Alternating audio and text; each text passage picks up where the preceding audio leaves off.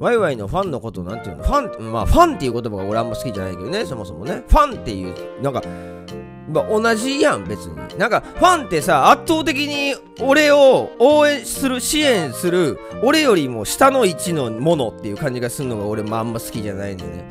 別に連れみたいな感じでいいんちゃうかなって思思ってんねだから俺も偉そうにされりゃ俺も偉そうにするっていうね。ただ俺がよく喋るだけであってみんなは喋れへんっていうことなだけであって。っていうぐらいでいいんじゃないかなと思うから。ああんまりファンっていう、あまあ、連れ、連れみたいな感じじゃないかなと思思ってるよ。私は。